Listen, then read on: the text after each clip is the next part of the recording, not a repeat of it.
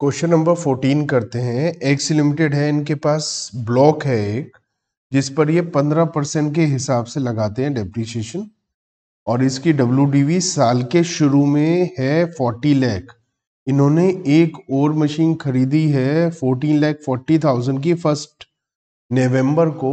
One eighty days से कम हो गया तो फिफ्टी परसेंट डेप्रीशिएशन लगेगा। उसी दिन इन्होंने यूज़ करना शुरू कर दिया। तो डेप्रीशिएशन लग जाएगा। इनका अमलगमेशन हुआ है डी लिमिटेड से फ़र्स्ट जनवरी को। तो फ़र्स्ट जनवरी से इनको डी लिमिटेड को मिलेगा डेप्रीशिएशन और फ़र्स्ट जनवरी से पहले एक्स लिमिटेड को मिलेगा।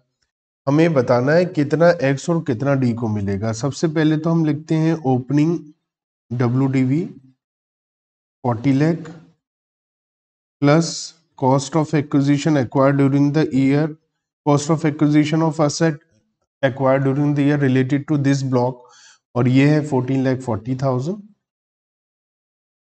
तो हमारे पास आ गया fifty four lakh forty thousand इसमें से लेस करते हैं full value of consideration of asset sold regarded discarded ये सब लेस कर देते हैं। जो भी एसेट बेची है तो बेची कुछ भी नहीं है। तो हमारे पास fifty four lakh forty thousand आ गया। इसके ऊपर डेप्रीशिएशन लगाना है, लेकिन जो हमारी फोर्टीन लैख फोर्टी थाउज़ेंड की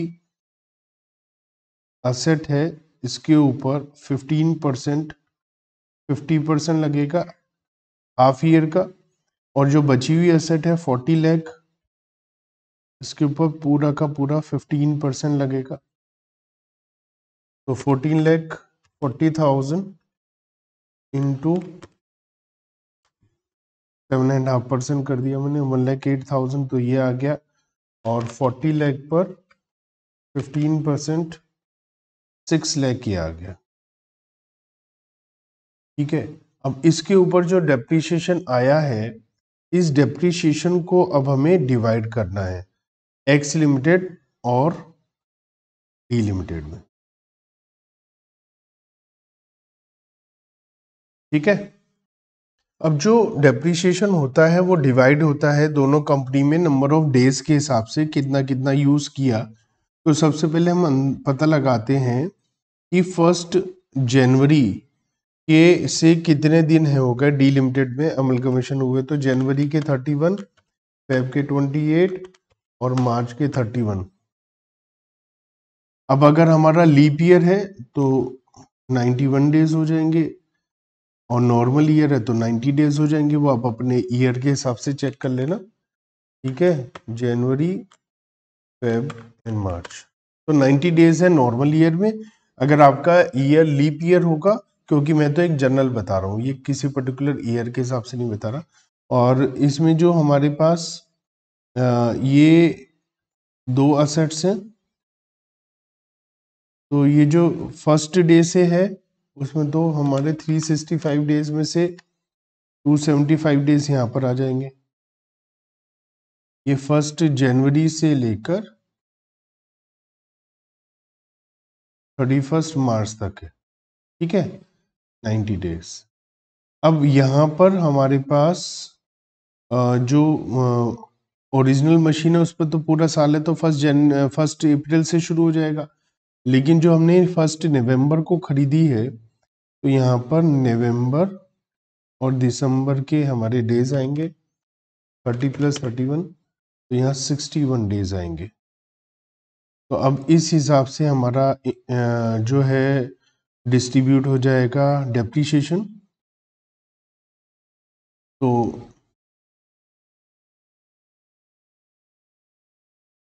एक्स में सबसे पहले हम बात करते हैं वन लैख एट थाउज़ेंड को डिवाइड करते हैं एक्स और डी में। तो one lakh eight thousand into sixty one divide by sixty one plus ninety one lakh eight thousand into ninety divide by sixty one plus ninety तो ये काम हमने करा वन लैख एट थाउज़ेंड के डेप्रीशिएशन का और सिक्स लैख के डिप्रिशिएशन को हम डिस्ट्रीब्यूट करते हैं। टू सेवेंटी फाइव और नाइन्टी के रेशो में। ये आ जाएगा six lakh into two seventy five divide by three sixty five आ जाएगा नाइन्टी अपॉन थ्री सिक्सटी तो ये अमाउंट कितनी आ गई? चेक कर लें। वन लैख एट थाउज़ेंड को डिवाइड करना है हमने सिक्सटी वन के रेशो में। ये आ रहा है forty three six twenty nine. Sixty four three seventy one. Six lakh को डिवाइड करते हैं। Two seventy five. Four lakh fifty two thousand fifty five. और one lakh forty seven thousand nine forty five तो X के हिस्से में total depreciation आएगा forty three six twenty nine plus four lakh fifty two thousand fifty five और D के हिस्से में आएगा sixty four three seventy one plus one forty seven nine forty five तो टोटल मिलाकर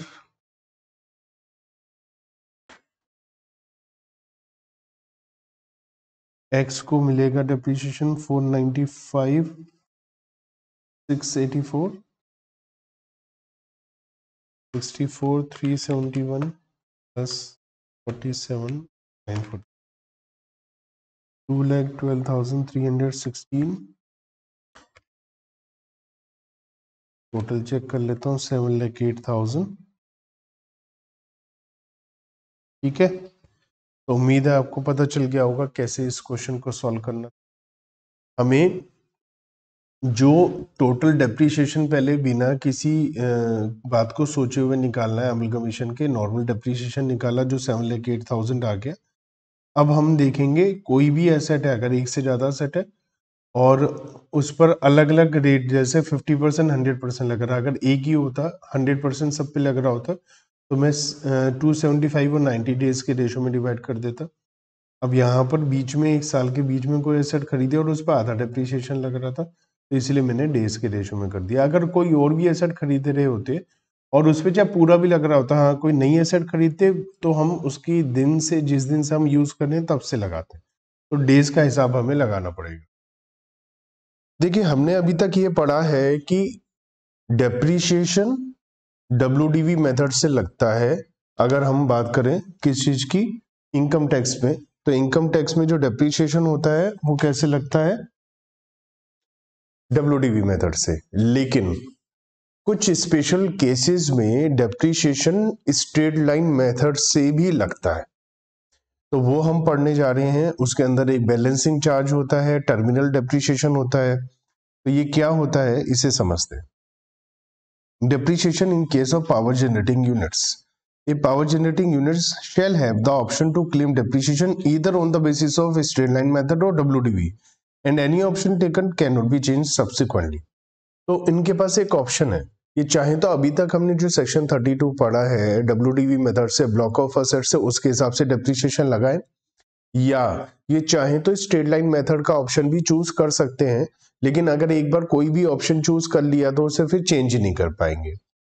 If the assessee has claimed depreciation on WDV basis depreciation shall be allowed on the basis of block of asset and if depreciation is claimed on M depreciation shall be computed on the basis of individual asset however concept of 180 days shall be applicable तो ये कह रहे हैं कि हम क्या करेंगे? अगर स्ट्रेट लाइन मेथड से लगा रहे हैं तो जैसे स्ट्रेट लाइन मेथड काम करता है अलग अलग असेट के हिसाब से नॉर्मल चलेगा, वहाँ पर ब्लॉक सिस्टम नहीं चलेगा। और इनकम टैक्स ने स्ट्रेट लाइन मेथड के अलग डेप्रिसिएशन के रेट दे रखे वो बहुत सारे हैं, बहुत अजीब गरीब भी हैं तो आप उसको याद रखने की कोशिश नहीं करें, ना देखें। अगर एग्ज़ाम में कुछ भी इस टाइप का क्वेश्चन आता है तो आपको डेप्रिसिएशन का रेट क्वेश्चन में दे रखा होगा। ठीक है? तो इसमें मेनली बात है कि जो ट्रीटमेंट होगा सेल के समय क्या होगा? डेप्रिसिएशन तो नॉर्मल लगाना है स्ट्रेट लाइन मेथड के हिसाब से, लेकिन जब आप बेचेंगे तो उसमें प्रॉफिट लॉस होगा ना तो प्रॉफिट लॉस कैसे निकाला जाए? इसको भी नॉर्मल तरीके से नहीं निकालेंगे, जैसे हम अकाउंटिंग में करते हैं, यहाँ पर भी थोड़ा सा डिफरेंस है। तो क्या है वो देखते हैं, जब हम सेल ऑफ़ असेट करेंगे तो क्या चेंजेस आएँगे? फ़र्स्ट हमारा टर्म यूज़ आ रहा है टर्मिनल डेप्रिसिएशन तो ये क्या होता है terminal depreciation if the asset is sold any loss on their sale shall be considered as a terminal depreciation and shall be allowed to be debited to P and L account देखिए, यहाँ पर concept क्या है, उसे समझते हैं। Concept ये है सपोज़ हमारी कोई एसेट है जिसकी कॉस्ट थी टेन थाउज़ेंड कुछ सालों में डेप्रिसिएशन लगते लगते इसकी डब्ल्यू हो गई। सपोज़ सिक्स थाउज़ेंड आज की डेट में इसको सेल किया गया सपोज़ फाइव थाउज़ेंड तो हम अकाउंटिंग में इसे बोलते हैं loss on sale of asset ठीक है? इनकम टैक्स में क्या बोला गया इसको? Terminal depreciation terminal word use होता है एट द एंड जब हम लास्ट में उसको यूज़ करते हैं। कोई जैसे असेट है, उसका लास्ट ईयर है लास्ट टाइम है तो उसे हम टर्मिनल यूज़ करते हैं। तो टर्मिनल डेप्रिशिएशन का मतलब जब असेट का यूज़ खत्म हो गया तो उस समय हमने जो डेप्रिशिएशन लगाया। ये ये सोच यहाँ पर ये है कि आपने दस हज़ार से लेकर उसको छह हज़ार तक डब्ल्यू पर लाए, उसकी अभी तक की लाइफ में आपने चार हज़ार का डेप्रिसिएशन लगाया बट इट वॉज़ इनसफिशियंट वो सही नहीं था। क्योंकि अगर आपको सही सही आपने डेप्रिसिएशन लगाया होता तो आज की डेट में हमारी एसेट की W D V five thousand होनी चाहिए थी। लेकिन है सिक्स थाउज़ेंड इसका मतलब आपने अभी तक एक हज़ार का डेप्रिसिएशन कम लगा रखा है। तो पीजीपीपी ये चैप्टर ये कहता है कि आप हज़ार रुपए को लॉस ना बोलिए। इस हज़ार रुपए को आप बोलिए टर्मिनल डेप्रिसिएशन ये लॉस नहीं है, ये असल में वो डेप्रिसिएशन है जो आपने अभी तक नहीं लगाया। तो आप इसको लगा दीजिए, ये लॉस नहीं बोल करके इसे हम क्या बोल रहे हैं टर्मिनल डेप्रिसिएशन क्योंकि अगर हमने इसे loss on sale of asset बोल दिया तो ये कैपिटल गेन के चैप्टर में हम पहुँच जाएँगे। तो इन्होंने कहा इसी चैप्टर में रहिए। तो हमने इसी चैप्टर में रोकने के लिए बोला, ये बिज़नेस का लॉस है बिज़नेस का एक्सपेंस है, ना कि कैपिटल गेन में लॉस है। तो इसको यहीं पर लॉस दिखाई है इसीलिए इसका नाम रखा गया टर्मिनल डेप्रीशिएशन तो ये बात आपको समझ में आ गई। अब हम बात करते हैं दूसरा टर्म जो यूज़ होता है, जिसका नाम है बैलेंसिंग चार्ज तो ये क्या है? Balancing charge if any asset has been sold और destroyed and depreciation was claimed on S basis any profit on sale shall be considered to be income under PGBP अगर वो डेप्रिशिएशन के equal है, जो अभी तक डेप्रिशिएशन चार्ज हुआ इसको समझते हैं with the help of example suppose जो मैंने अभी अभी बताया था आपको, इसी में मैं थोड़ा सा चेंजेस करता हूँ। कॉस्ट है ten thousand W D V है सिक्स थाउज़ेंड सेलिंग प्राइस है सेवन थाउज़ेंड तो नॉर्मल अकाउंटिंग में हम इसे कहते हैं profit on sale of asset one thousand rupees लेकिन अगर हम इसे profit on sale of asset बोलेंगे तो हम कैपिटल गेन के चैप्टर में पहुँच जाएँगे। इसे दूसरे तरीके से सोचिए, इसका मतलब यह है कि हमने डेप्रिसिएशन ज़्यादा लगा दिया। भाई, हमने इसको W D V six thousand है बिक्री एसेट सेलिंग प्राइस है सेवन थाउज़ेंड इसका मतलब अगर आपने डेप्रिसिएशन एक हज़ार रुपए कम लगाया होता तो इसका सेलिंग प्राइस का इक्वल डब्ल्यू होता। डेप्रिसिएशन हमने वन थाउज़ेंड एक्स्ट्रा लगा दिया। और डेप्रिसिएशन कहाँ लगाया है? आपने पीजीपीपी के चैप्टर में पी एंड एल अकाउंट में डेप्रिसिएशन पिछले सालों में लगाया है। तो जब पीजीपीपी में एक्स्ट्रा डेप्रिसिएशन लगाया तो रिवर्सल भी पीजीपीपी के चैप्टर में होना चाहिए। तो ये बात सोचते हुए इन्होंने कहा कि ये one thousand rupees profit on sale of asset नहीं है। ये बिज़नेस की ही इनकम में आएगा। तो इसका नाम रखा गया क्या? बैलेंसिंग चार्ज और ये बैलेंसिंग चार्ज बिज़नेस की इनकम मानी जाएगी। देखिए क्या लिखा है? If the amount is received after closing down of the business still it will be considered as a business income ठीक है? चाहे बिज़नेस आपका बंद हो गया तो भी इसे बिज़नेस का ही इनकम माना जाएगा।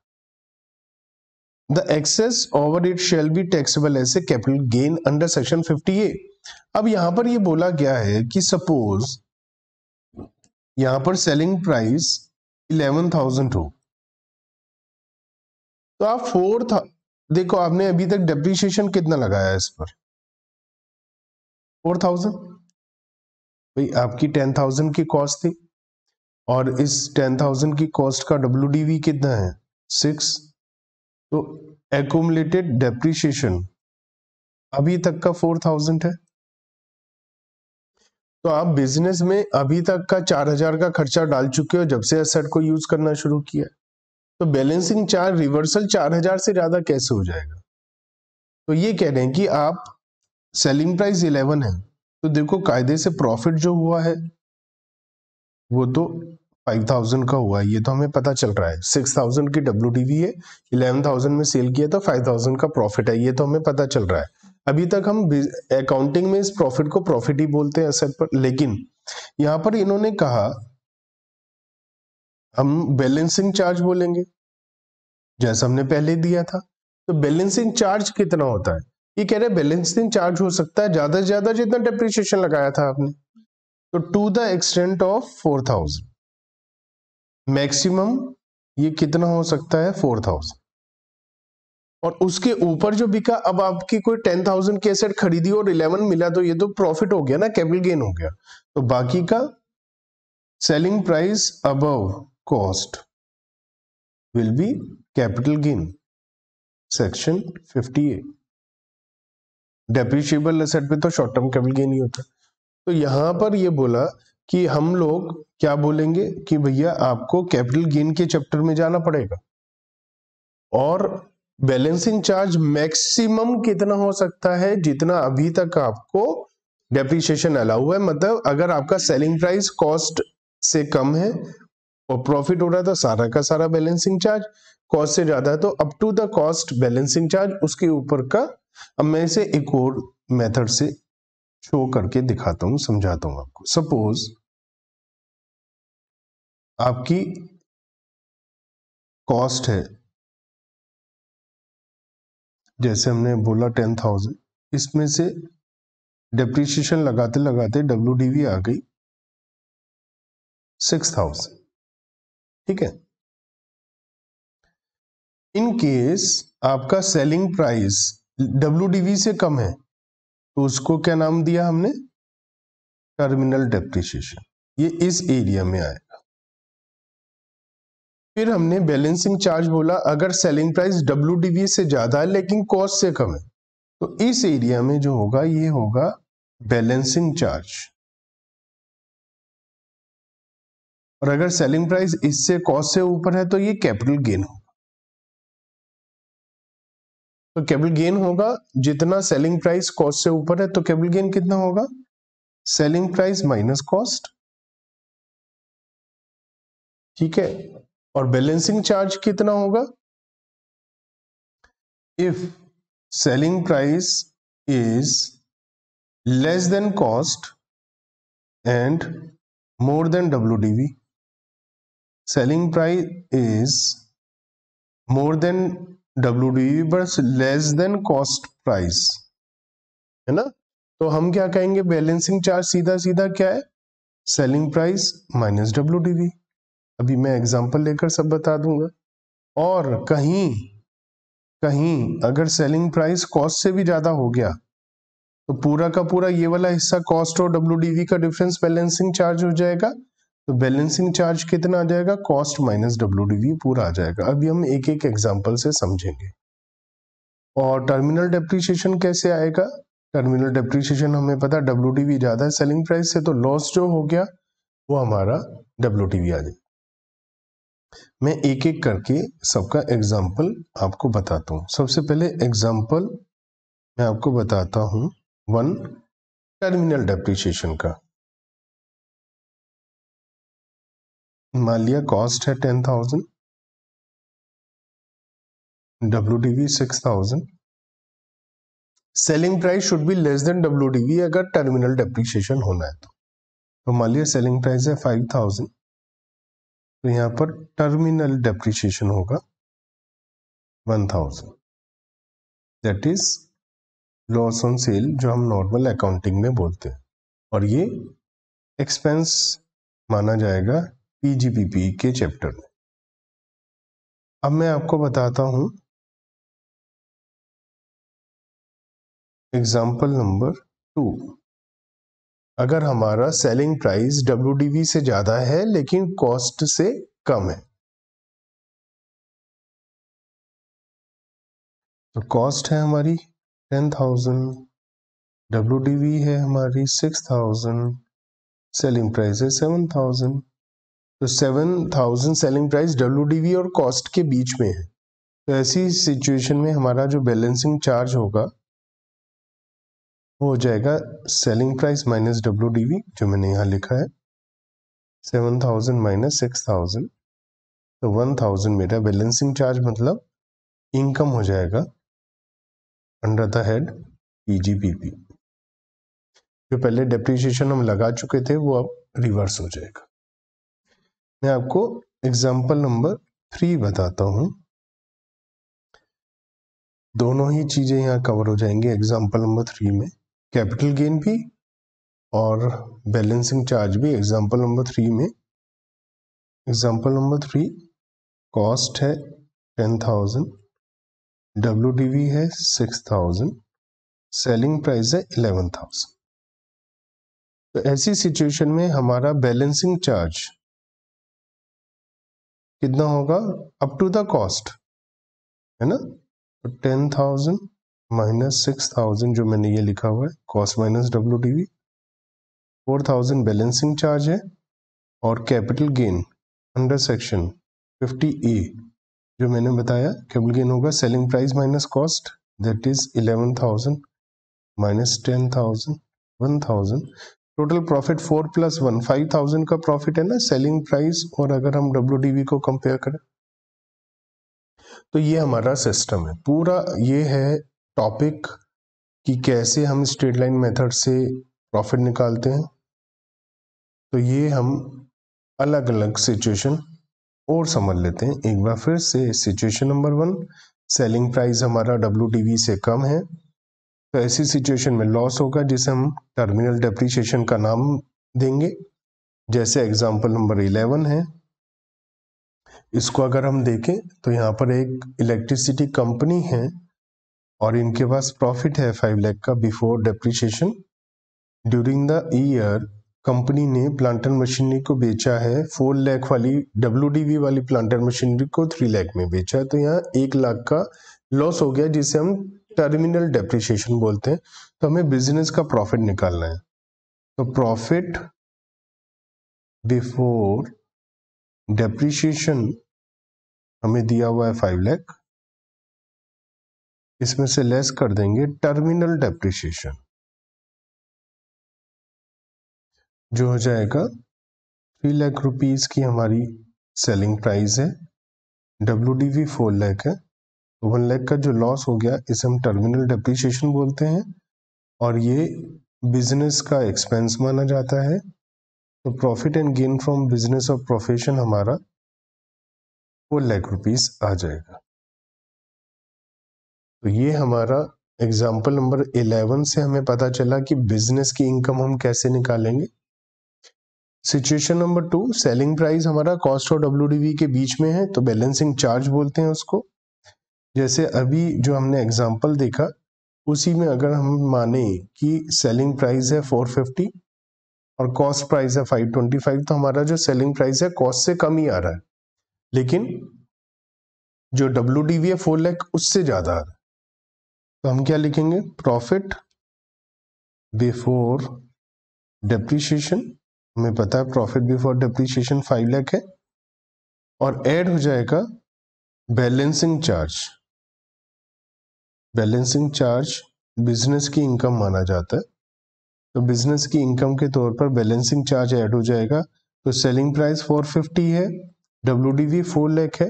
क्योंकि सेलिंग प्राइस कॉस्ट से कम है तो सारा का सारा प्रॉफिट बैलेंसिंग चार्ज कहलाएगा। जब भी हमारा सेलिंग प्राइस कॉस्ट से कम होगा कैपिटल गेन होगा ही नहीं तो सारा बैलेंसिंग चार्ज हो जाएगा। तो सेलिंग प्राइस हमारा है फोर लैख फिफ्टी थाउज़ेंड और कॉस्ट डब्ल्यू डी वी है फोर लैख फिफ्टी थाउज़ेंड का बैलेंसिंग चार्ज बिज़नेस की इनकम तो five lakh fifty thousand business की इनकम आ जाएगा टोटल बिज़नेस इनकम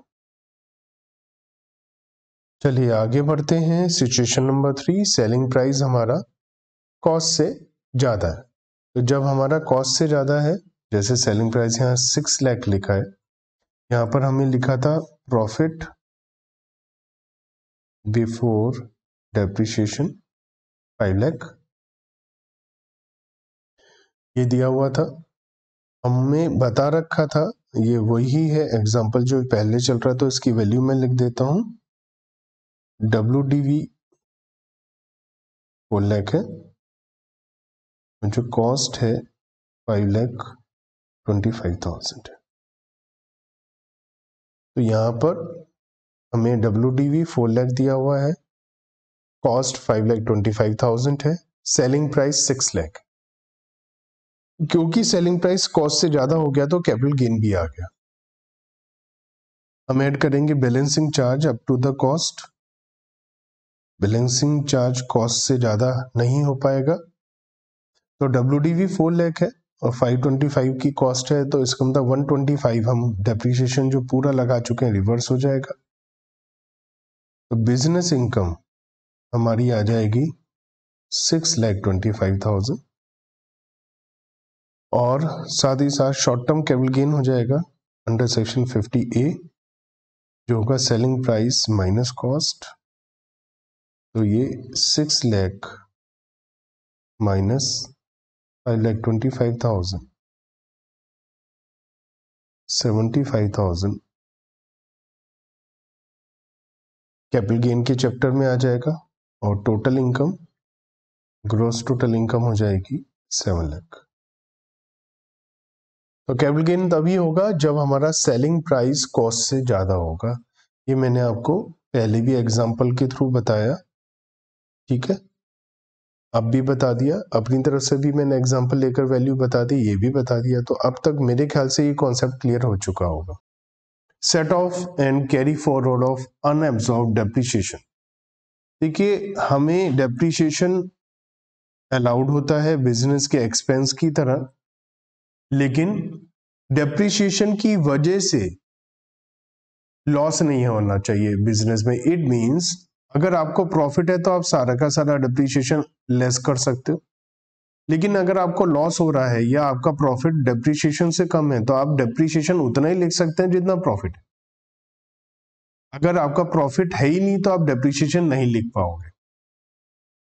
एग्ज़ाम्पल के तौर पर सपोज़ आपका प्रॉफिट बिफोर डिप्रिशिएशन है ट्वेंटी थाउज़ेंड और डिप्रिशिएशन है फिफ्टी थाउज़ेंड तो नॉर्मली हम क्या दिखाते हैं? थर्टी थाउज़ेंड का लॉस लेकिन इनकम टैक्स कहता है कि भैया आप डेप्रीशिएशन ट्वेंटी थाउज़ेंड ही लिख सकते हो और जो थर्टी थाउज़ेंड का डेप्रीशिएशन है, इसका ट्रीटमेंट क्या होगा ये मैं अभी बताता हूँ। आपका प्रॉफिट नील हो जाएगा मतलब डेप्रीशिएशन की वजह से कभी भी आपको लॉस नहीं होने वाला है। और अगर आपका पहले से ही लॉस है पहले ही लॉस है, ठीक है, पहले ही लॉस है, एक लाख रुपए का लॉस है सपोज़ और डेप्रीशिएशन फिफ्टी थाउज़ेंड है तो आप डेप्रीशिएशन लिख ही नहीं सकते। पूरे का पूरा फिफ्टी थाउज़ेंड का डेप्रीशिएशन हम प्रॉफिट के लॉस से तो नहीं लिख पाएँगे इसमें। तो इसका क्या करेंगे? वही हम सीखने जा रहे हैं। तो इसका मतलब हमें ये पता चल गया प्रॉफिट का होना ज़रूरी है। तो क्या लिखा है? If current year depreciation could not be set off from business profit क्यों? मैंने क्या बताया कि अगर हमारा बिज़नेस में प्रॉफिट कम है या लॉस है तो उसका क्या करेंगे? वो हम यहाँ सीख रहे हैं। तो इसको क्या करिए? लिखा है सेट ऑफ़ करिए। First against profit of any other business और प्रोफेशन मतलब सपोज़ आपको, आपका जो ये डेप्रीशिएशन है बिज़नेस ए से है। आप तो कुछ लिख नहीं पाए। आपका और भी बिज़नेस है प्रोफेशन है, एक बी बिज़नेस और है। वहाँ पर आपका प्रॉफिट हो रहा है पाँच लाख। तो ये डेप्रीशिएशन यहाँ से लेस कर। दूसरे बिज़नेस की इनकम से लेस कर लो। ये पॉइंट नंबर ए बोलता है। पॉइंट नंबर बी क्या कहता है? आइए उसे समझते हैं। The balance if any against income under any other head except from casual income and income from head salary अब ये क्या बोल रहा है? मैंने कहा पचास हज़ार पूरा सेट ऑफ़ कर लो। लेकिन क्या होगा अगर बिज़नेस दूसरा है ही नहीं? है ही नहीं बिज़नेस दूसरा, या दूसरा बिज़नेस है, उसमें भी लॉस है। या उसमें प्रॉफिट भी है, मान लिया बीस हज़ार का प्रॉफिट है तो आप बीस हज़ार का ही तो लेस कर सकते हो। तो बाकी का जो थर्टी थाउज़ेंड रह गया, उसका क्या करेंगे? तो या तो दूसरा बिज़नेस ही नहीं है, या दूसरा बिज़नेस है, उसमें भी लॉस है, या उसका प्रॉफिट इनसफिशियंट है तो क्या करेंगे? तो क्या लिखा है? आप इसे अदर हेड से सेट ऑफ़ कर लो। और हमें पता है, हमारे पास कितने हेड होते हैं? पाँच। Salary house property business profession capital gain and other sources business में तो है ही नहीं, तभी तो हम आगे बढ़ रहे हैं। बिज़नेस में और बिज़नेस से हमने कोशिश करके देख ली, सबसे पहले तो और कोई नहीं है तो हम आगे बढ़ रहे हैं। तो आगे बढ़ रहे हैं तो ये कहने की सैलरी से अलाउ नहीं होगा। सैलरी के हेड से अलाउ नहीं होगा। और दूसरा कैजुअल इनकम अदर सोर्सेज में आती है कैजुअल इनकम कैजुअल इनकम जैसे लॉटरी लग गई। कौन बनेगा? करोड़पति में जीत गए आपको। क्रिप्टो करेंसी से आपको प्रॉफिट हो रहा है। तो उन सबसे आप नहीं कर पाओगे। तो यहाँ बी पॉइंट में क्या लिखा है? The balance if any against any income under any other head except casual income and income from the salary the unabsorbed depreciation can be carry for अब मान लिया वो भी नहीं है। दूसरे हेड में इनकम नहीं है या कम है तो क्या करेंगे? तो इसका नाम हो जाएगा अनएब्जॉर्ब डेप्रिशिएशन अनएब्जॉर्ब मतलब जो हम एब्जॉर्ब नहीं कर पाए, वसूल नहीं कर पाए कट नहीं कर पाए सेट ऑफ़ नहीं कर पाए। तो उसको क्या बोलेंगे? अनएब्जॉर्ब डेप्रिशिएशन और इसको क्या करेंगे? इसे अगले साल लेकर जाएँगे। और टाइम लिमिट नहीं है अनलिमिटेड आप पचास, सौ, दो सौ साल, जब तक ये खत्म नहीं होता, आगे लेकर जाओ लेकर जाओ, लेकर The unreserved depreciation can be carried forward for unlimited period for setting off against the profit of any business carried on by in the future years. अब हर साल आगे आगे लेकर जाते जाओ। अगले साल भी लॉस हुआ तो अगले साल का डिप्रिशिएशन भी आगे लेकर जाओ। सब इकट्ठा होता रहेगा, आगे बढ़ता जाएगा। असेसी मे और may not carry on the business हो सकता है हमारा बिज़नेस बंद हो जाए। तो भी इसे आगे लेकर जाओ, क्योंकि और इनकम होगी, और बिज़नेस होगा, उससे सेट ऑफ़ कर लेना। If there is a loss under the head PGBP, then such loss shall be first adjusted against any income of other head, except from salary and casual income. If not possible, then it should be allowed to carry forward to be set off in the succeeding year against only business income. Such carry forward or losses is allowed for only eight years. देखो हमने depreciation अगले साल क्यों carry forward कर रहे हैं क्योंकि हमारे पास प्रॉफिट नहीं है तो लॉस है अब लॉस है तो लॉस के लिए भी यही है लॉस है ना तो दूसरे बिज़नेस के प्रॉफिट से सेट ऑफ़ कर लो लॉस को वो भी नहीं है तो अदर हेड से सेट ऑफ़ कर लो कैजुअल इनकम और सैलरी को छोड़कर। लेकिन अगर वो भी लॉस है तो लॉस भी तो अगले साल जाएगा। तो लॉस को भी कैरी फॉरवर्ड करो अनएब्सॉर्ब डेप्रिशिएशन को भी कैरी फॉरवर्ड करो। लेकिन अनएब्सॉर्ब डेप्रिशिएशन क्या है? अनलिमिटेड टाइम है। लेकिन लॉस के लिए आठ साल का टाइम है। तो अब बताओ, आपके पास दवाई रखी है। एक आयुर्वेदिक दवाई है जिसकी कोई एक्सपायरी नहीं है। और एक एलोपैथी दवाई है जिसकी एक्सपायरी है एक साल बाद। सिर में दर्द है। आयुर्वेदिक दवाई भी सिर दर्द की है और एलोपैथी भी सिर दर्द की है और सिर दर्द की, एलोपैथी की दवाई की एक्सपायरी एक साल बाद की है। उसका अनलिमिटेड टाइम है। तो आप पहले वो दवाई लोगे जिसकी एक्सपायरी है। ऐसे ही हमारे पास दो चीज़ें खाने के लिए है। एक चीज़ दस दिन चलेगी, एक चीज़ एक दिन बाद खराब हो जाएगी। तो हम पहले वो खाएँगे जो एक दिन बाद खराब हो जाएगी, वरना वेस्ट हो जाएगी।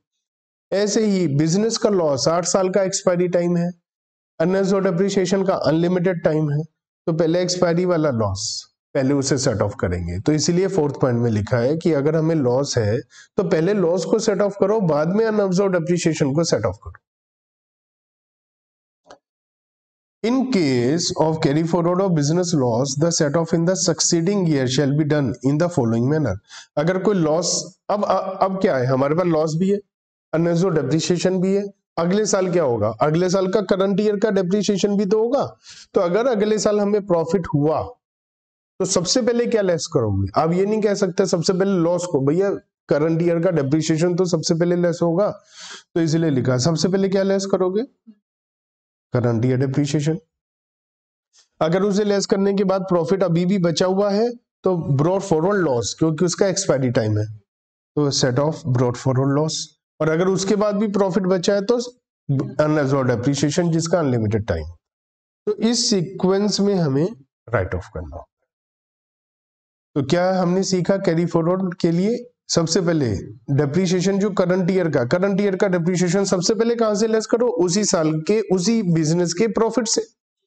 अगर उस बिज़नेस के प्रॉफिट से सेट ऑफ़ नहीं हुआ तो दूसरे प्रॉफिट को देखो, दूसरे बिज़नेस के प्रॉफिट को देखो। अगर दूसरे बिज़नेस के प्रॉफिट से भी नहीं हुआ तो दूसरे हेड देखो अलग अलग हेड ऑफ़ इनकम सैलरी और कैजुअल इनकम को छोड़कर। और अगर उससे भी सेट ऑफ़ नहीं हुआ तो अगले साल लेकर जाओ। फिर अनएब्जॉर्ड डेप्रिसिएशन कहलाएगा, अगले साल लेकर जाओ, लेकिन अगले साल नंबर तीसरे नंबर पर आएगा। पहला नंबर करंट ईयर अगले साल के डेप्रिसिएशन का, दूसरे नंबर पर ब्रॉड फॉरवर्ड लॉसेस का, तीसरे नंबर पे ये नंबर आएगा। तो ये हमने सीखा सेट ऑफ़ का क्या सिस्टम है कैसे कैसे हम सेट ऑफ़ करें। एग्ज़ाम्पल देखते हैं। एग्ज़ाम्पल हमारे पास 15 है। और इसकी मदद से हम सीखते हैं कि क्या करना है। Business income before depreciation 72,000 depreciation 94,000 income from house property 60 other sources 6,000 and salary 3 lakh. तो हमें निकालना है इनकम तो सबसे पहले हम क्या लिखें? एक हमारी हाउस प्रॉपर्टी की हेड है, होता है।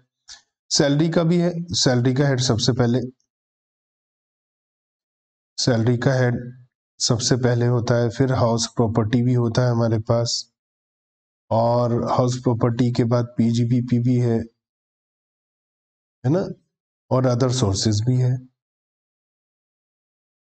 तो हम कैसे सेट ऑफ़ करें? सैलरी की इनकम हमें दी हुई है। तिलक और हाउस प्रॉपर्टी की इनकम दी हुई है सिक्सटी थाउज़ेंड। और अदर सोर्सेस हमने ये लिख लिया सैलरी लिख लिया अदर सोर्सेज है six thousand.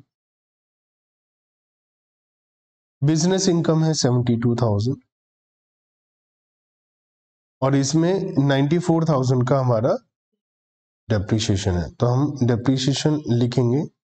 Up to profit seventy two thousand तो ये तो नील हो गया हमारा। ये तो खत्म हो गया।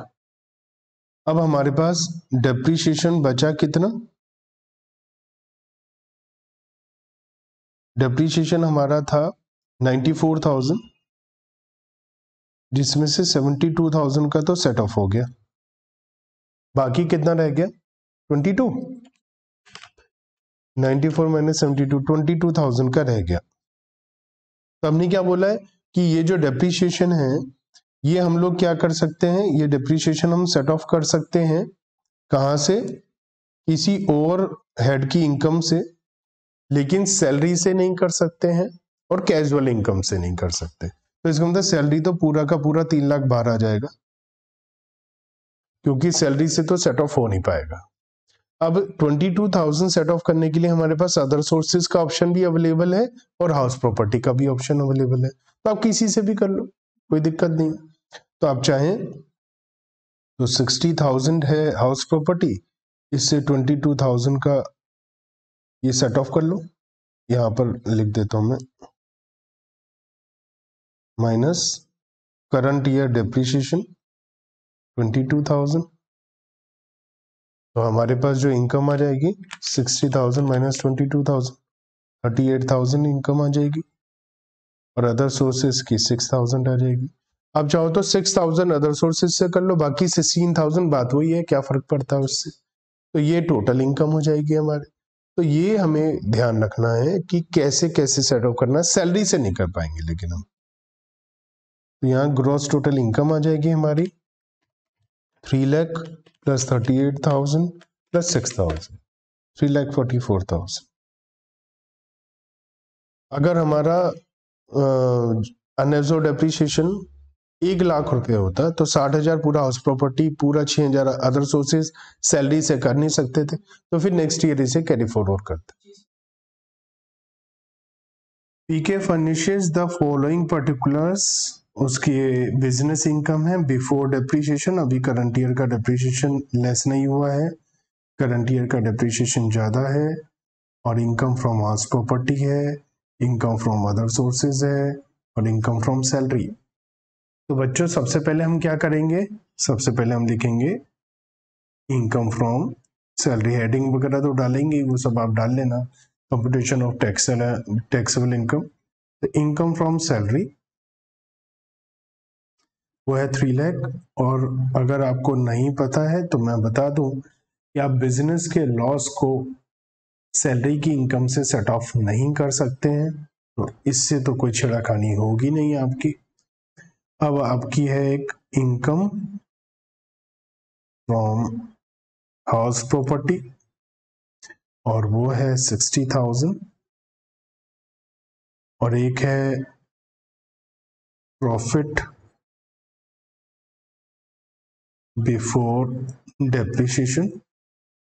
सेवेंटी टू थाउज़ेंड इसमें से हम डेप्रीशिएशन लेस करेंगे, लेकिन डेप्रीशिएशन क्योंकि इससे ज़्यादा है तो depreciation to the extent of profit ही हम लेस कर सकते हैं।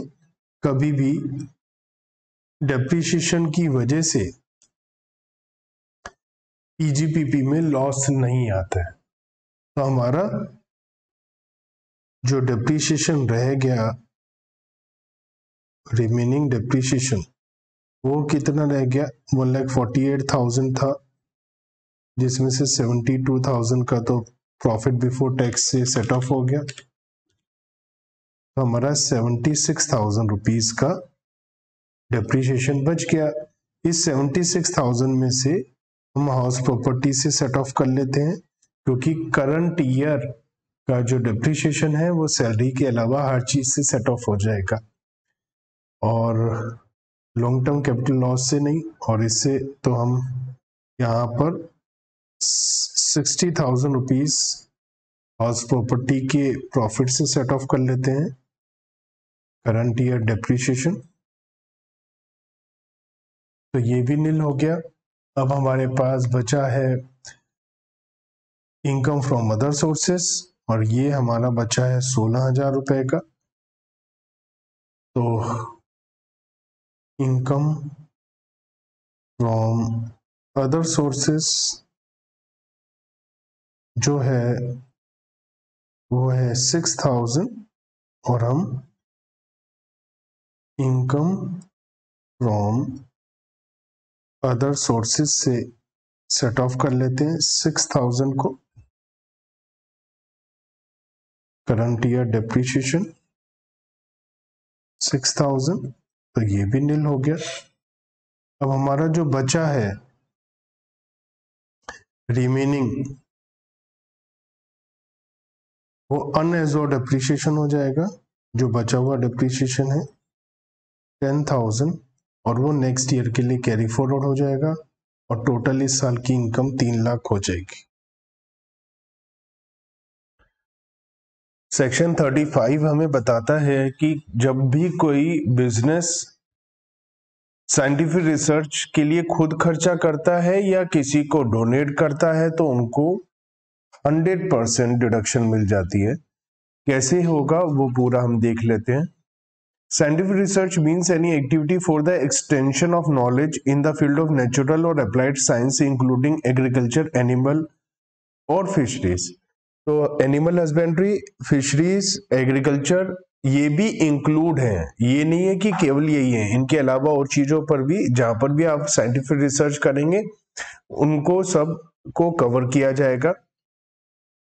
तो इसमें सबसे पहले हम बात करते हैं कि अगर असेसी खुद साइंटिफिक रिसर्च कर रहा है तो क्या होगा? खुद खर्चा करता है तो क्या होगा? तो रिवेन्यू नेचर जो भी एक्सपेंसेस होंगे और कैपिटल नेचर एक्सपेंसेस होंगे हंड्रेड परसेंट अलाउड है। अगर वो उसके अपने बिज़नेस प्रोफेशन से रिलेटेड है तो अगर कोई भी अपने बिज़नेस प्रोफेशन से रिलेटेड आर एन डी करता है रिसर्च एंड डेवलपमेंट का खर्चा करता है तो चाहे वो रिवेन्यू नेचर हो, चाहे वो कैपिटल नेचर हो, हंड्रेड परसेंट अलाउड है। अब यहाँ ये बात समझने की है कि रिवेन्यू नेचर का खर्चा तो अलाउड होता है, लेकिन कैपिटल नेचर के खर्चे पे तो हमें डेप्रिसिएशन मिलता है। लेकिन वो भी हंड्रेड परसेंट अलाउड है। इसका मतलब आप ये एज्यूम कर सकते हो मन में कि हंड्रेड परसेंट डेप्रिशिएशन अलाउ हो रहा है आपको। क्योंकि यहाँ पर हंड्रेड परसेंट अलाउ हो रहा है तो जब मैं डेप्रिशिएशन पढ़ा रहा था तो वहाँ पर मैंने बताया था कि अगर कोई एसेट साइंटिफिक रिसर्च के लिए यूज़ होती है तो उसके ऊपर डेप्रिशिएशन नहीं मिलता, क्योंकि हंड्रेड परसेंट पहले मिल चुका है उस पर। तो अगर आप पाँच लाख रुपए की कोई एसेट साइंटिफिक रिसर्च के लिए खरीदते हैं तो उस पर पाँच लाख का, पाँच लाख का खर्चा उसी साल अलाउ हो जाएगा। तो उसे आप ब्लॉक ऑफ़ एसेट में जोड़ेंगे नहीं और ना ही उसके ऊपर आप डेप्रिसिएशन लगाएँगे। तो हम रिवेन्यू नेचर की बात करें। रिवेन्यू नेचर का खर्चा during the period of business जब आपने खर्च किए तब तो अलाउड है ही। लेकिन अगर आपने बिज़नेस शुरू करने से पहले के खर्चे करें तो तीन साल के वो खर्चे भी अलाउड है जिस साल बिज़नेस शुरू होगा, उस साल। तो expenses before the commencement of business revenue expenses on salary perquisite नहीं आएगा? सैलरी आएगा, जो भी रिसर्च स्टाफ को आपने दिया है, या रिसर्च करते हुए जो मटेरियल यूज़ हुआ है, तीन साल पहले तक का preceding the date of commencement of business shall be allowed 100 percent in the year in which business is commence तो जिस साल बिज़नेस शुरू हुआ है, उस साल आपको पिछले तीन साल तक का रिवेन्यू नेचर एक्सपेंसेस अलाउड हो जाएगा, जिसमें मटेरियल और सैलरी वगैरह इंक्लूड हो जाएगा।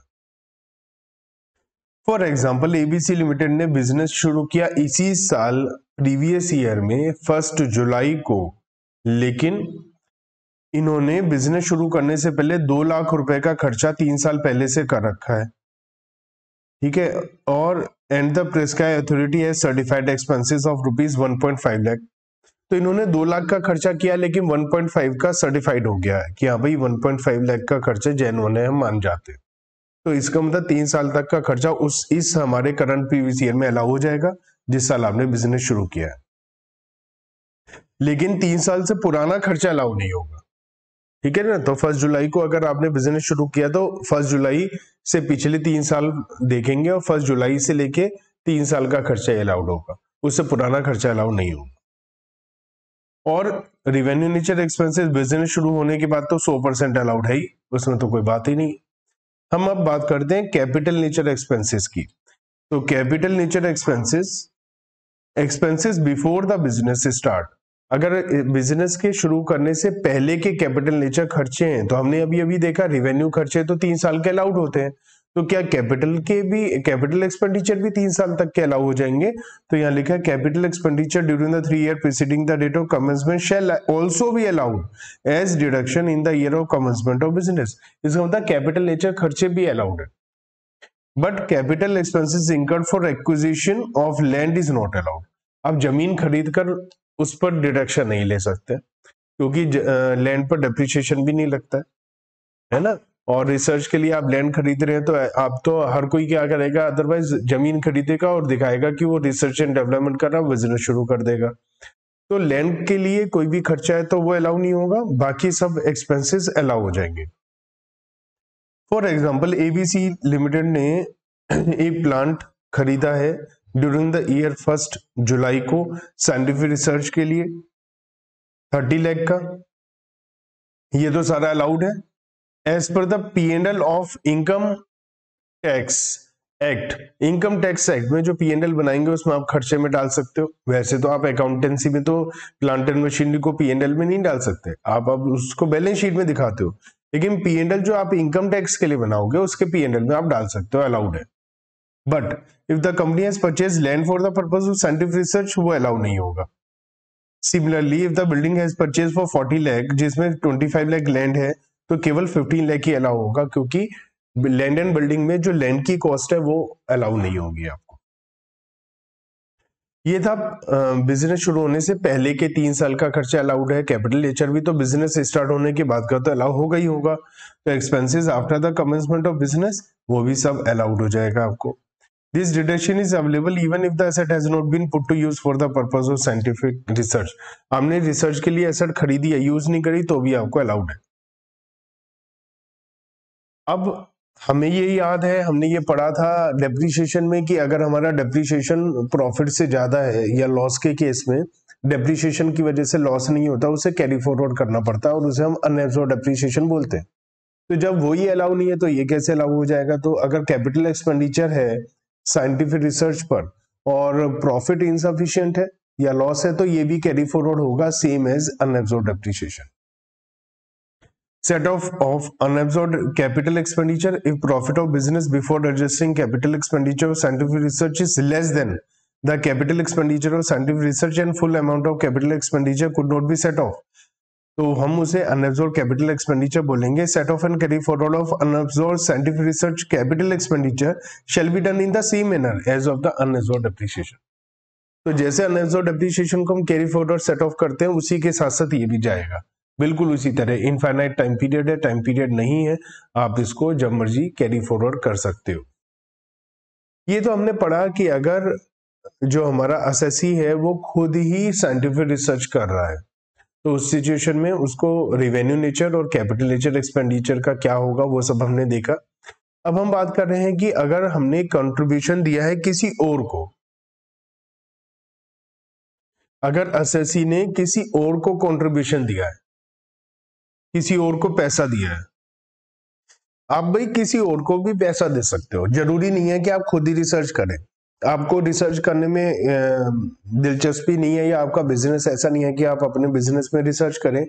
आपके बिज़नेस से रिलेटेड नहीं भी है और आप किसी और को साइंटिफिक रिसर्च के लिए पैसा देते हैं तो भी आपको डिडक्शन मिल जाएगी। Assessee can claim deduction even if he makes donation for the research whether or not connected to the business assessee के बिज़नेस से कनेक्टेड है या नहीं, इस बात से कोई फ़र्क नहीं पड़ेगा।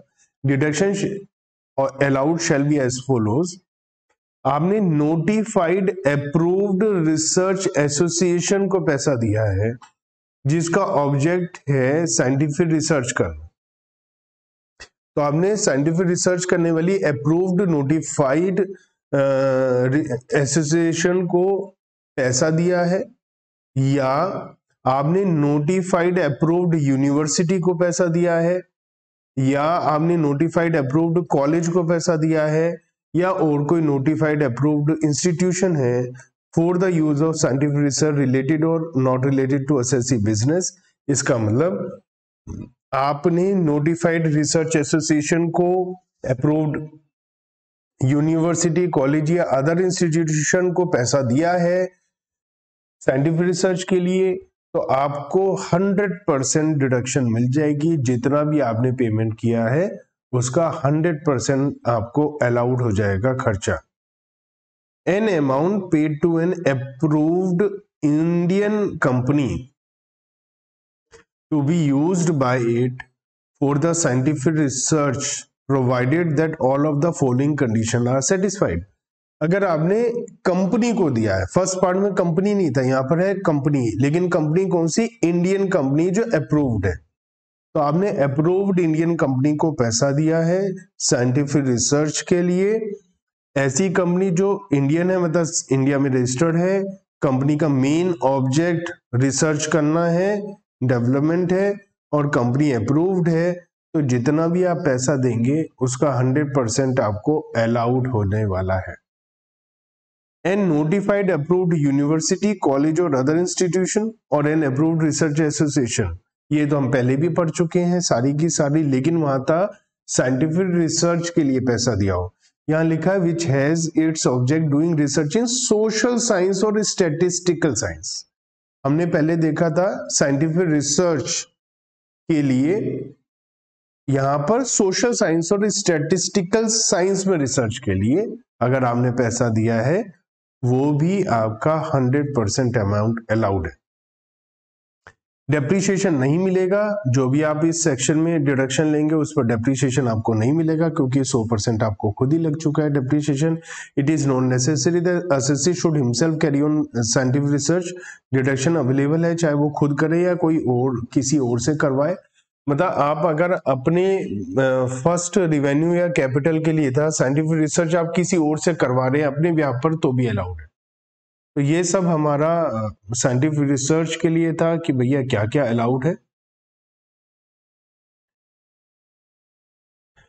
एक्स लिमिटेड है, जिनका इंकॉर्पोरेशन हुआ है पिछले साल फ़र्स्ट जनवरी को, क्योंकि हमारे प्रीवियस ईयर से पिछला फ़र्स्ट जनवरी है। और ये मैन्युफैक्चर कर रहे हैं टायर्स का ट्यूब्स का मोटर व्हीकल के लिए। मैन्युफैक्चरिंग यूनिट सेटअप इसी साल हुई है फ़र्स्ट मे को। The company is manufacturing operation on first June the total cost of plant and machine install is 55 crore the set plant and machinery included second hand plant and machinery board for 20 crore and the new plant and machinery for scientific research जो 15 करोड़ में खरीदा। Compute the amount of depreciation allowable under section 32 हमें कितना depreciation मिलने वाला है? तो opening W के बारे में हमें कुछ बताया नहीं है। हमने उसको नील लिखा। ऐड करते हैं हम। Cost of acquisition of assets acquired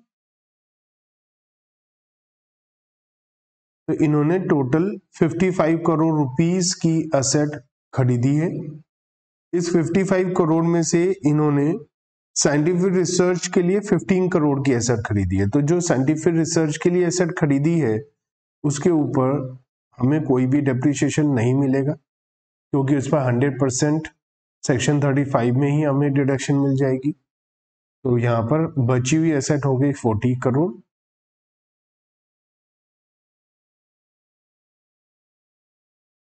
इसके ऊपर W D V for depreciation forty crore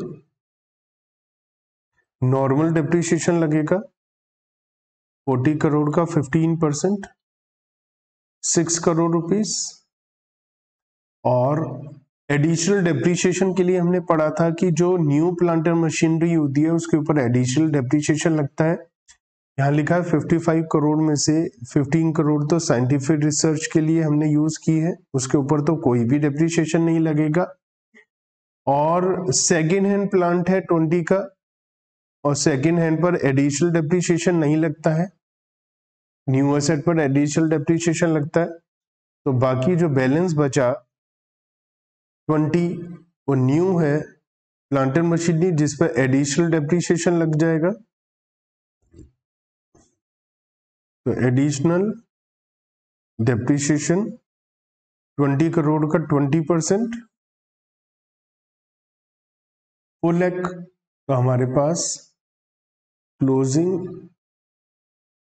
W D V या हम कहें ओपनिंग डब्ल्यू डी वी और नेक्स्ट ईयर थर्टी करोड़ आ जाएगी।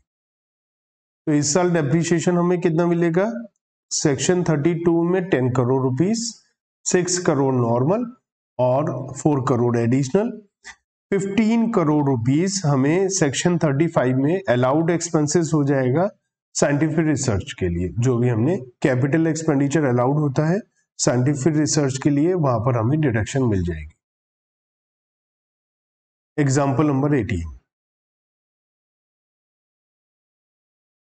फ़र्स्ट अप्रैल को प्रीवियस ईयर में चार प्लांट है एबीसी लिमिटेड के पास ए बी सी डी जिस पर 15 परसेंट का डेप्रीशिएशन लगता है और इसकी value five lakh forty thousand है फोर्टीन सिक्स को एक new plant purchase plant E which was initially purchase for ninety six thousand for conducting scientific research is transferred from laboratory to factory. No other asset is purchased or sold. Find the depreciation. तो देखिए scientific research के लिए जो हमारी asset होती है, उसको आप अगर साइंटिफिक रिसर्च के लिए जिस साल आप यूज़ करते हैं, उस साल आपको 100 परसेंट डिडक्शन मिलती है। अंडर सेक्शन 35 चाहे वो कैपिटल एक्सपेंडिचर हो एक तरीके से उसकी डब्ल्यू क्या हो चुकी है? नील अब ये भी हो सकता है कि आप उसको फिर साइंटिफिक रिसर्च की बजाय आप उसे नॉर्मल बिज़नेस के लिए यूज़ करें। अब नॉर्मल यूज़ के लिए आपने इसको लिया है तो हम क्या करेंगे? कैसे दिखाएँगे इसे? Opening W DV previous year को A B C D five lakh forty thousand add करेंगे cost of acquisition of assets acquired और यह असेट ई आई है हमारी इस ब्लॉक के अंदर, लेकिन इसकी जो कॉस्ट थी वो थी नाइन्टी सिक्स थाउज़ेंड की। ठीक है? और उस पर नाइन्टी सिक्स थाउज़ेंड का डिडक्शन हमें मिल गया होगा सेक्शन थर्टी फाइव में तो उसकी वैल्यू नील आएगी। कॉस्ट ऑफ़ एक्विजिशन में जोड़ेगा, लेकिन नील जोड़ेगा। क्यों? क्योंकि अगर हमने इस असेट को बेचा तो इसका जो सेलिंग प्राइस है वो यहाँ से लेस हो जाएगा तो डेप्रिशिएशन कम हो जाएगा फ्यूचर में, जो भी उसका सेलिंग प्राइस होगा। तो अगर हम कोई एसेट साइंटिफिक रिसर्च के लिए खरीद कर उस पर क्लेम करते हैं, डिडक्शन अंडर सेक्शन 35 और फिर उसको साइंटिफिक रिसर्च से हटाकर नॉर्मल यूज़ में लाते हैं तो वो हमारे ब्लॉक ऑफ़ असेट में जुड़ जाता है, लेकिन नील वैल्यू पर जुड़ता है। तो हमारी डब्ल्यूडीवी आ जाएगी for the purpose of depreciation five lakh forty thousand इस पर डेप्रीशिएशन लगेगा फाइव लैख फोर्टी थाउज़ेंड का फिफ्टीन परसेंट कितना हो गया? एटी वन थाउज़ेंड और डब्ल्यू और नेक्स्ट ईयर हमारे लिए क्या हो जाएगी? Five lakh forty thousand minus eighty one thousand one lakh fifty nine thousand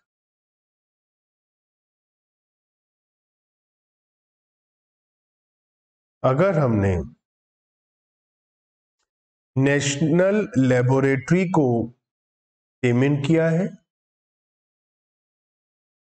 या हमने यूनिवर्सिटी को पेमेंट करा है, या हमने आईआईटी को पेमेंट किया है तो ऐसी केस में क्या होगा? तो अगर एसएससी ने नेशनल लेबोरेटरी को यूनिवर्सिटी को, या आईआईटी को, या किसी और अप्रूव्ड स्पेसिफाइड पर्सन को पैसा दिया है, जो डायरेक्शन है उसके हिसाब से साइंटिफिक रिसर्च के लिए तो गवर्नमेंट ने वो साइंटिफिक रिसर्च प्रोग्राम को अप्रूव किया है तो उसके ऊपर भी आपको 100 परसेंट डिडक्शन अलाउ हो जाएगी। तो जो आपने पेमेंट किया होगा अप्रूव्ड नेशनल लेबोरेटरी को यूनिवर्सिटी को या आईआईटी को, कोई भी साइंटिफिक रिसर्च प्रोग्राम है जो गवर्नमेंट के थ्रू अप्रूव्ड है तो उस पर भी आपको 100 परसेंट डिडक्शन मिल जाएगी। मिस्टर एक्स हैं, उन्होंने बता रखा है कि कौन कौन सी पेमेंट उन्होंने साइंटिफिक रिसर्च के लिए करी है। इन्होंने पेमेंट किया है के रिसर्च लिमिटेड को, एक कंपनी को रिसर्च किया है ट्वेंटी लाख रुपीस रिसर्च के लिए पेमेंट किया है। एल एम एन कॉलेज को पेमेंट किया है फिफ्टीन लाख इन्होंने ओपी क्यू कॉलेज को दिया है टेन लाख के research and L M N college are approved research institution and this payment are to be allowed for the purpose of scientific research तो इसके ऊपर आपको 100 परसेंट डिडक्शन मिल जाएँगी के रिसर्च और एल के लिए। नेशनल लेबोरेटरी को 8 लाख दिया, इस पर आपको 100 परसेंट का डिडक्शन मिल जाएगा। मशीनी आपने परचेज किया है इन हाउस साइंटिफिक रिसर्च के लिए। तो capital expenditure on in house scientific research इस पर भी आपको 100 परसेंट डिडक्शन मिल जाएगी। सैलरी दिया है इन हाउस रिसर्च के लिए तो ये रिवेन्यू एक्सपेंसेस है ये भी आपको 100 परसेंट मिल जाएगा। तो हमें सेक्शन 35 में बताना है कि आपको कौन कौन सा खर्चा अलाउड होगा। तो एक्सेप्ट दिस सब अलाउ हो जाएगा 20, 15, 8, 25 एंड 12 तो सेक्शन 35 में अलाउड एक्सपेंसेस जो आपको होगा वो कितना हो जाएगा? Twenty plus fifteen plus eight plus twenty five plus twelve. तो एट्टी लाख रुपीस आपको अलाउड हो जाएँगे साइंटिफिक रिसर्च के लिए सेक्शन थर्टी फाइव में। Company engaged in business of biotechnology or manufacturing or article or thing etc. Section 35 2AB. If company is engaged in the business of biotechnology or in business of manufacture or production of any article or thing except those are specified in the 11th schedule तो उनका जो भी capital और revenue nature का expenses है other than land and building वो सारा allowed हो जाएगा इन हाउस रिसर्च डेवलपमेंट का 100 परसेंट जैसे हमारा सेक्शन 35 था साइंटिफिक रिसर्च ऐसे ही ये भी सेक्शन है, इसमें भी हो जाएगा। इन्होंने कहा है, कोई भी बायोटेक्नोलॉजी या कोई मैन्युफैक्चरिंग कर रहा है बिज़नेस तो उसको अलाउ होगा। लेकिन वो जो सामान बनाते हैं, वो इलेवेंथ स्केड्यूल में ना हो। इलेवेंथ स्केड्यूल में क्या है, मैंने आपको दिखाने के लिए बता दिया। जैसे तम्बाकू सिगरेट, बीड़ी विस्की इस टाइप की जनरल चीज़ें हैं। ये हैं। इसके अलावा कॉस्मेटिक आइटम्स हैं, उनके लिए इन हाउस रिसर्च वगैरह के लिए गवर्नमेंट चाहती नहीं कि पैसा दिया जाए उन्होंने हंड्रेड परसेंट छूट दी जाए। तो इसलिए वो भी हैं। चॉकलेट्स वगैरह हैं। तो कुछ चीज़ें हैं जो हटाई गई हैं। तो मतलब आपको इतना ज़्यादा टेंशन नहीं लेने की एक एक चीज़ आपको याद होनी चाहिए। बस आपको बोला कि भैया इलेवेंथ स्केड्यूल में जो लिखा है, उनके अलावा आप कुछ करते हैं तो आपको मिल जाएगा। तो आपके मन में ये विचार आ सकता है कि भाई इलेवेंथ स्केड्यूल में क्या लिखा हुआ है? तो उसमें ये ये आइटम्स लिखी हुई है, जिन पर आपको डिडक्शन मिलने वाली नहीं है। Example number twenty X limited ने बताया है कि उन्होंने क्या क्या पेमेंट करा है और हमें बताना है कि उन्हें क्या क्या छूट मिलने वाली है। जैसे कि उन्होंने Indian Institute of Science Bangalore को साइंटिफिक रिसर्च के लिए पेमेंट किया है। तो हंड्रेड परसेंट डिडक्शन मिल जाएगी। One lakh rupees deduction under section thirty five IIT को दिया अप्रूव साइंटिफिक रिसर्च प्रोग्राम के लिए हंड्रेड परसेंट डिडक्शन मिल जाएगी आपको। Two lakh fifty thousand rupees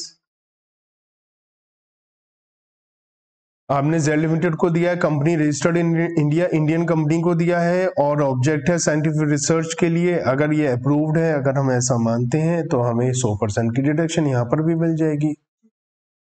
Full lakh rupees expenditure in house research के लिए किया है प्रेस्क्राइब अथॉरिटी से रिवेन्यू नेचर खर्चा अलाउड है। थ्री लैख। कैपिटल नेचर खर्चा अलाउड है लैंड नहीं होना चाहिए लैंड है फाइव लैख, वो नहीं मिलेगा। तो इसमें से फाइव लैख लेस कर देंगे। तो two lakh fifty thousand rupees पर हंड्रेड परसेंट अलाउ हो जाएगा।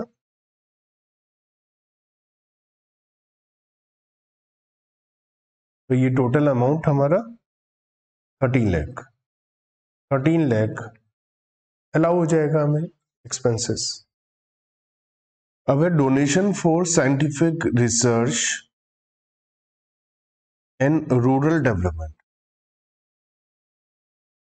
section 80 GGA यहाँ पर ये बता रखा है कि हमने अभी तक ये सीखा कि अगर आपका बिज़नेस प्रोफेशन है और आप साइंटिफिक रिसर्च के लिए अगर आप डोनेट करते हैं तो आपको डिडक्शन मिल जाती है पीजीबीपी में profit and gain from business और प्रोफेशन लेकिन अगर आप को बिज़नेस की इनकम नहीं हो रही है सपोज़ आप सैलरीड एम्प्लॉय हैं, आपकी अदर सोर्सेज है, आपकी हाउस प्रॉपर्टी की इनकम है और फिर भी आप साइंटिफिक रिसर्च के लिए किसी को पेमेंट करते हैं।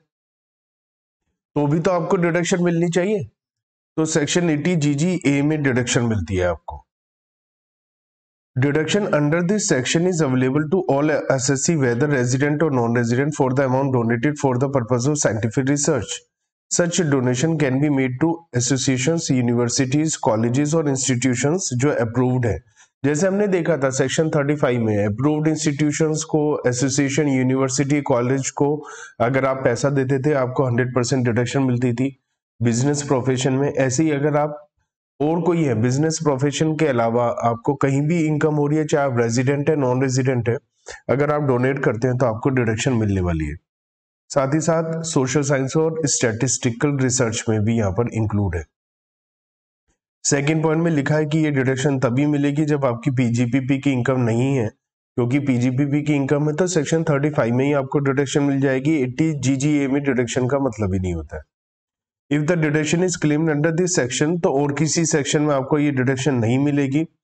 और यहाँ लिखा है कि अगर डोनेशन कैश में दिया गया है, दस हज़ार से कम है तो कोई बात नहीं, लेकिन अगर ये पैसा दस हज़ार से ज़्यादा है और कैश में है तो आपको डिडक्शन नहीं मिलेगी। Sale of asset which has been use for scientific research अगर साइंटिफिक रिसर्च के लिए आपने असेट को यूज़ किया है तो उस सिचुएशन में कैसे आप टैक्स निकालेंगे? Any amount realise on transfer of asset which has been utilise for scientific research is taxable as business income to the extent deduction was allowed देखिए, आपको सपोज़ आपने एक पाँच लाख रुपए की असेट खरीदी थी और आपको सेक्शन 35 में बिज़नेस की एक्सपेंसेस अलाउड हो गया। अब आपने इसको बेच दिया। अगर आपने अब इसको चार लाख में बेच दिया तो इसकी एक तरीके से जैसे ही आपको सेक्शन 35 में डिडक्शन मिली तो एक तरीके से इसकी डब्ल्यू नील हो गई। अब आपने फोर लाख में बेचा तो सारा का सारा प्रॉफिट है बिज़नेस की इनकम में आ जाएगा। तीन लाख में बेचा तो तीन लाख, लेकिन अगर आपने पाँच लाख से ऊपर में बेचा, छह लाख में बेचा तो ऐसी सिचुएशन में पाँच लाख की इनकम जो बिज़नेस इनकम मानी जाएगी, जो सेक्शन थर्टी फाइव में डिडक्शन मिली थी, एक लाख रुपए जो ऊपर से मिले हैं, वो कैपिटल गेन है। इसीलिए वो कैपिटल गेन के चैप्टर में आएगा। तो यहाँ लिखा है कि असेट का यूज़ आपने किया है सोल्ड करा है without using for any other business purpose तो आपने केवल साइंटिफिक रिसर्च के लिए असेट को यूज़ किया और फिर बेच दिया। तो अगर आप उसे बिज़नेस के लिए यूज़ कर ही नहीं रहे हैं, सीधा साइंटिफिक रिसर्च के लिए यूज़ करके बेच रहे हैं तो यहाँ लिखा है कि आपका ये सेक्शन अप्लाई होगा और जो कम अमाउंट है वो बिज़नेस इनकम होगी। कम अमाउंट किस चीज़ में कंपेयर होगी? सेलिंग प्राइस और जो सेक्शन 35 में डिडक्शन मिली थी। जो भी कम अमाउंट है, वो आपको बिज़नेस इनकम हो जाएगी। और अगर कॉस्ट से भी ज़्यादा है तो कैपिटल गेन आएगा। क्या होगा? अगर आपने इसको बेचा है बिज़नेस के लिए यूज़ करके तो जैसे ही आप इसे बिज़नेस के लिए यूज़ करते हैं तो आप इसे ब्लॉक ऑफ़ असेट में ऐड कर देते हैं cost of acquisition acquired during the year लेकिन इसकी डब्ल्यू नील ऐड करते हैं। ऐड होती है नील अमाउंट क्योंकि इसकी डब्ल्यू नील हो चुकी है। जैसे ही आप इसे बिज़नेस के लिए यूज़ करेंगे, हम ऐड तो करेंगे, एक नई एसेट बिज़नेस में आई है, लेकिन उसकी डब्ल्यू नील है। फिर बेचेंगे तो सेलिंग प्राइस माइनस हो जाएगा, और हमें पता है सेक्शन 50 में नेगेटिव डब्ल्यूडीवी आती है। या सारा का सारा सेट ब्लॉक बिक जाता है तो ही हम उस पर कैपिटल गेन निकालते हैं सेशन 50 में। तो हमने अभी तक क्या पढ़ा, वो देख लेते हैं, फिर उसके ऊपर एग्ज़ाम्पल देखेंगे तो आपको अच्छे से समझ में आ जाएगा। सेल ऑफ़ साइंटिफिक रिसर्च अगर आपने बिज़नेस के लिए यूज़ नहीं किया और उसे बेचा है तो selling price up to cost business income है, उससे ऊपर कैपिटल गेन है। और अगर आपने साइंटिफिक रिसर्च वाली एसेट को यूज़ किया पहले बिज़नेस के लिए, फिर उसे बेचा है तो जैसे ही आप बिज़नेस के लिए यूज़ करेंगे डब्ल्यू में ऐड कर देंगे cost of acquisition of asset earlier use for scientific research और उसकी डब्ल्यू नील ऐड करेंगे और जब बेचेंगे, उसका सेलिंग प्राइस माइनस हो जाएगा। नॉर्मल चलिए एग्जांपल नंबर ट्वेंटी वन देखते हैं। एबीसी एंटरप्राइज है। इन्होंने एक मशीन खरीदी थी फाइव लाख रुपीज़ में। एटीन अगस्त को पिछले साल प्रीवियस ईयर से भी एक साल पहले खरीदी थी। साइंटिफिक रिसर्च के लिए। तो इसका मतलब हमारा जो रिलेवेंट प्रीवियस ईयर है, ये रिलेवेंट प्रीवियस ईयर है। इससे पिछले साल आपको डिडक्शन मिल गई अंडर सेक्शन 35 और आपने पूरा का पूरा पाँच लाख रुपए क्लेम कर लिया खर्चा। एक तरीके से इसकी डब्ल्यू नील हो चुकी है। अब during the year 17 July during the relevant previous year previous year में 17 जुलाई को हमारा रिसर्च का काम पूरा हो गया और हमने थर्टी फ़र्स्ट मार्च को प्रीवियस ईयर के आखिरी दिन इस असेट को बेच दिया। Case number one, case number one selling price है वन लैख, और ए पार्ट है इसका after using the same for business purpose other than scientific research हमने पहले इसे बिज़नेस के लिए यूज़ किया, फिर उसे बेचा। क्योंकि बिज़नेस के लिए यूज़ करना कब से शुरू किया होगा? 17 जुलाई से, हमने 17 जुलाई करंट ईयर के अंदर यहाँ से हमने इसको रिसर्च का काम खत्म हो गया। और रिसर्च का काम खत्म होने के बाद ईयर एंड में इसे सेल किया।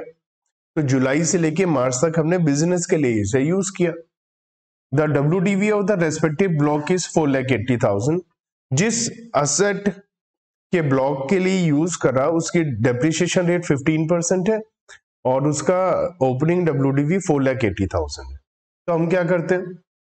इसी साल हमने यूज़ करा और इसी साल बेच दिया। तो हम क्या करेंगे? ओपनिंग डब्ल्यू डी वी लिखते हैं फोर लैख एट्टी थाउज़ेंड इसमें प्लस करेंगे cost of acquisition of asset earlier used as earlier used in scientific research. तो हम क्या लेंगे? इसकी cost five lakh minus deduction जो मिल गई थी फाइव लैख तो इसकी कॉस्ट ऑफ़ एक्विजिशन तो नील ले ली जाएगी। Four lakh eighty thousand minus करते हैं full value of consideration of assets transfer during the year और इसे वन लैख में सेल आउट कर दिया। तो जब वन लैख में सेल आउट कर दिया तो W D V for depreciation आ जाएगी हमारी थ्री लैख एटी थाउज़ेंड इसके ऊपर डेप्रीशिएशन लगेगा at the rate fifteen percent तो थ्री लैख एटी थाउज़ेंड का फिफ्टीन परसेंट डेप्रीशिएशन हो जाएगा फिफ्टी सेवन थाउज़ेंड और वी फॉर नेक्स्ट ईयर आ जाएगी three lakh twenty three thousand कोई बिज़नेस की इनकम नहीं होगी, कोई कैपिटल गेन नहीं होगा। ये है केस नंबर वन जब हमने असेट को वन लैख में सेल किया है, उसका पार्ट ए अगर हमने पहले बिज़नेस के लिए यूज़ किया, उसके बाद इसे बेचा। अब हम बात करते हैं पार्ट बी की। पार्ट बी में क्या लिखा है? Without using the same for other purpose हमने किसी और पर्पज के लिए यूज़ नहीं किया। साइंटिफिक रिसर्च के बाद इसे बेच दिया सीधा। तो ऐसी सिचुएशन में हम selling price up to deduction allowed under section 35 five will be business income